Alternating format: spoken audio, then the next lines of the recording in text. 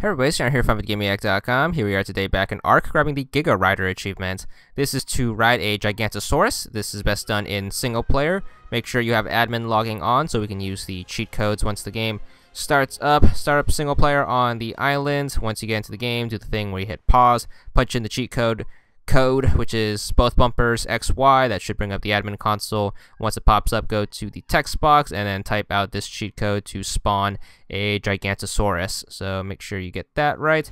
Once it spawns in, go up to it, make sure you are facing it, and then bring up the admin console again. This time you want to use the force tame cheat code.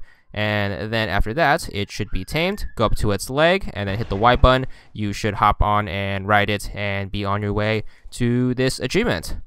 There it is. It's going to be for 50 gamer score, and that's all there is to it.